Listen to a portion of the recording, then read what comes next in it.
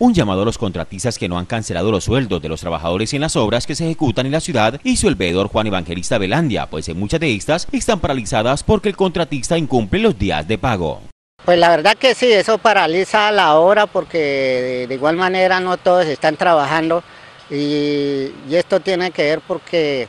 mm, esto estaba proyectado para entregarlo este año, ya el señor alcalde dijo que no lo entregaban este año, que ya quedaba para que lo inaugurara el nuevo alcalde pero la verdad que lo que dice el contrato es que debería terminarse antes del, de, o sea, para terminarlo este año. Y yo miro que este año no se va a terminar, esa es mi, queja, esa es la, opinión que yo doy como representante de la veeduría, de una de las veedurías, porque aquí existen dos veedurías en este parque, una de los veedores comunitarios y una veeduría por parte de algunos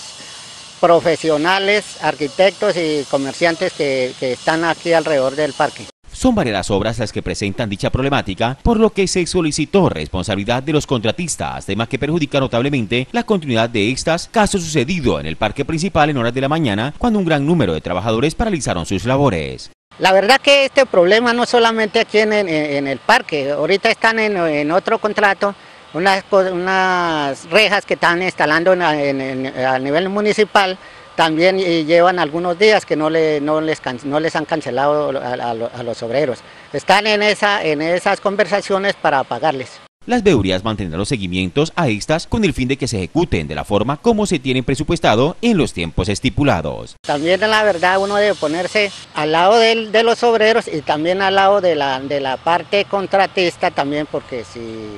no les pagan, los obreros no van a seguir trabajando. CNC Noticias, Arauca está informada.